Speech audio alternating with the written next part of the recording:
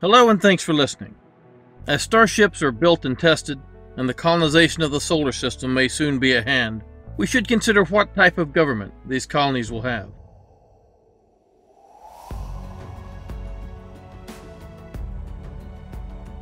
While colonies on the moon will almost certainly remain under full Earth governmental control, with limited independence for a long time, Mars is a different story.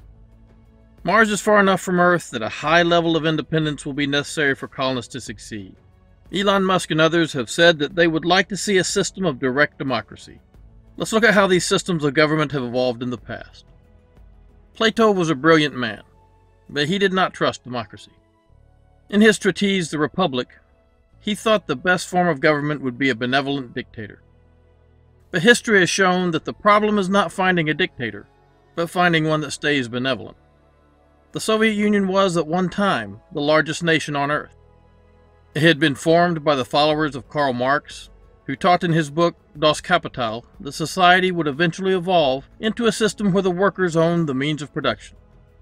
This system was supposed to be the opposite of dictatorship a complete democracy, where committees of citizens would be in control and everyone would have what they needed to live comfortably. This sounded like a great plan to many of the men and women who were starving in Eastern Europe. Two of these men were Vladimir Ilyich Ulyanov, better known by his alias Lenin, and Leon Trotsky. These men lived in Russia and had read the works of Marx. They disagreed with Marx about waiting for this society to naturally evolve. At this time in history, Russia was ruled by a class of hereditary dictators. When someone's word is law, they are a dictator. That is literally what the meaning of the word is. They may be called an emperor, king, czar, or even president. But if their power is unchecked, they are dictators. By the way, the Russian word for king, czar, comes from the Roman term for an emperor, Caesar, or Kaiser as they probably pronounced it. It's the same root for the German Kaiser. These dictators may be considered benevolent and wise, like Marcus Aurelius, or despotic and evil, like Caligula. The Russian dictators or czars were not at all popular with the common people by the end of the 19th century. Those who wanted change, like Trotsky and Lenin, started speaking out against the czar. For this, they were both thrown in prisons Trotsky in Siberia and Lenin in Shushenskoye. Lenin served his time and Trotsky escaped, and they met for the first time in London, England. There they both continued their study of Marxism and became convincing speakers. Trotsky went back to Russia and led a revolution to overthrow the Tsar in 1905. This revolution failed, but it weakened the government significantly. Lenin joined a group of communists called the Bolsheviks, which took over from the group Trotsky had joined, called the Mensheviks. The Bolsheviks felt that more force was needed. One member of the Bolsheviks was skilled at applying force. His name was Joseph Jugashvili, and he had been a member of the Bolsheviks for 12 years. He had been in charge of conducting clandestine operations against the Tsarist forces. In 1917, Lenin led another revolution, and with the help of his right hand man, Jugashvili, this one succeeded. The Soviet Union was born, and the communists shared power with a group called the Left Socialist Revolutionaries. Committees were set up and power was centralized. These committees were placed in charge of reallocating resources and controlling industry. But the wealthy and middle class were not as enthused about sharing everything. They had done okay under the Tsar and didn't want their property taken. Lenin debated with them and eventually fought with them, leading to three states breaking away. Lenin decided more force was necessary.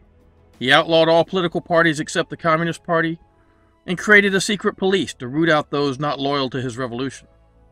These people who objected were rounded up and sent to the exact prison camps in Siberia that the Tsar had used. Trotsky saw this and spoke out against it, and was himself hunted down and murdered in Mexico in 1925 by a Soviet operative. Lenin rewarded those who supported him with better positions and gave them control over certain industries, creating a new class of privilege in a supposedly classless society. These Communist Party officials were allocated automobiles and could shop at special stores, privileges the common people did not have.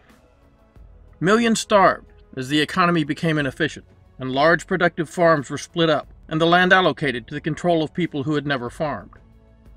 Eventually, Lenin became ill, and more of the responsibility of running things fell to his right hand man, Joseph Jugashvili, who had started calling himself by a nickname the Man of Steel, or just Stalin.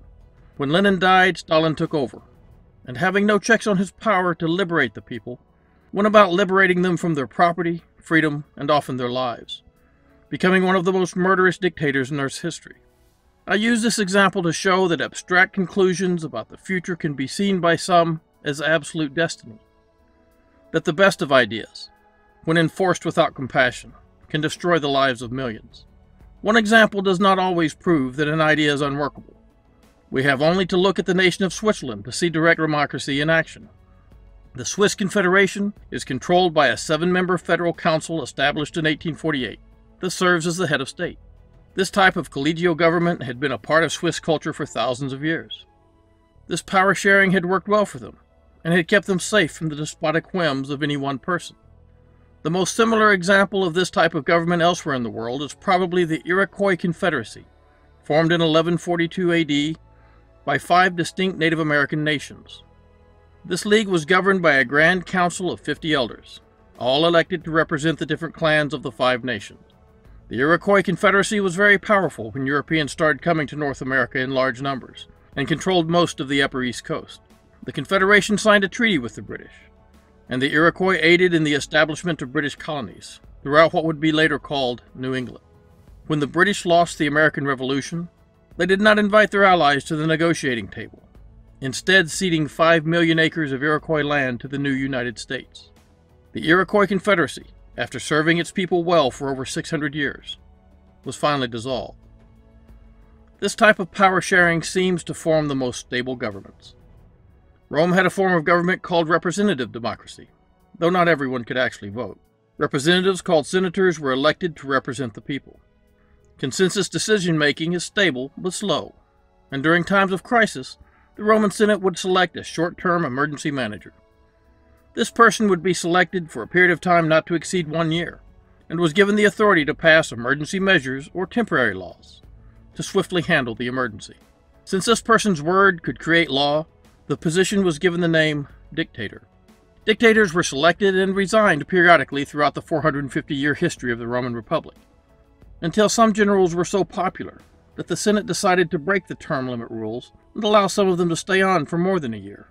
When the Senate finally tried to get one of them to step down after several terms, it did not go well. We know this general from history as Julius Caesar, the first emperor of Rome. The Senate tried to regain authority, and Caesar was assassinated. But once you concentrate too much power in the hands of too few, it is not easy to get it back.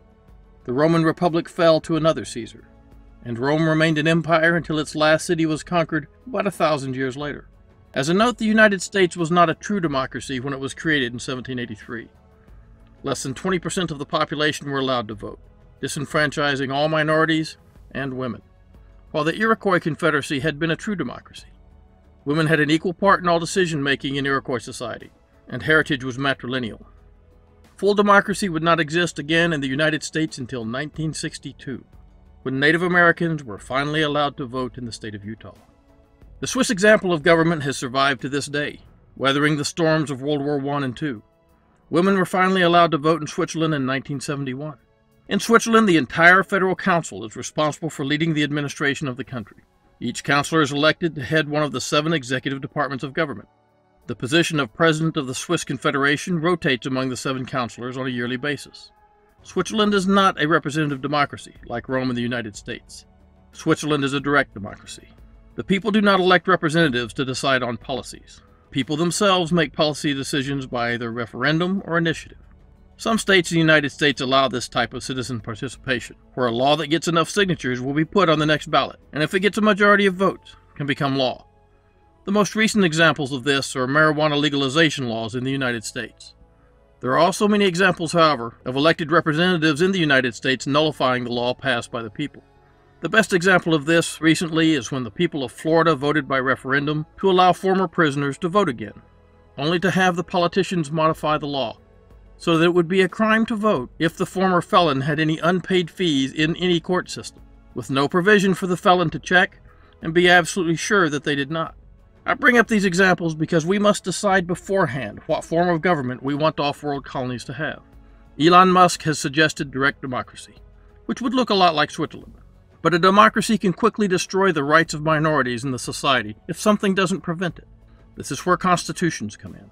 Someone who serves in the American military does not pledge to defend the nation. We pledge to defend the Constitution. This is very different from most nations on earth. The Constitution defines and limits the powers of government. The American Constitution divides control between three equal branches of government and ensures the rights of every individual. Now, to be effective, a Constitution must be enforced. While the Declaration of Independence said that all men were created equal, the original Constitution of the United States said otherwise. Other nations have this problem also. Citizens of North Korea have a constitution that says all citizens have equal rights, freedom of religion, and freedom of speech. That is not what we see enforced there today.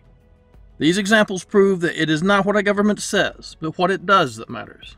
Without limited power, governments tend to degrade to dictatorship, as North Korea most certainly is. Mars and the Moon will almost certainly be colonized by cities established by nation states from Earth. These nations will include the United States, China, the European Union, Russia, and eventually India and other Asian, African, and South American nations. Each of these cities will grow to become a type of city state, reflecting the laws and cultures of the nations that created them. These colonies will, however, have to depend on each other for support, almost as much as they depend on Earth. If there is an emergency, help from Earth will not get there in time. A frontier mentality between the colonies will quickly develop. Now, please understand what a frontier mentality is. Texas is where Elon Musk has decided to put the company that will build starships and establish the foundations that will become a civilization on Mars. Some of my ancestors have a long history in Texas, some of them very long, in fact. Texans today pride themselves on being self sufficient and independent. These are definitely examples of frontier principles. Pull your own weight, try not to be a burden on others. But some modern Texans, and especially their politicians, tend to ignore many other frontier traits, such as letting people live the way they choose and helping your neighbor when things go bad. Texas is no longer the frontier in America, and if your car breaks down in some states, it might be a long time before anyone stops and offers to help, if ever. But if you go to Alaska, or even Montana, you will find that when your car breaks down, someone quickly stops to help. A major factor in the frontier mentality is that you all help each other, because someday the person needing help will be you.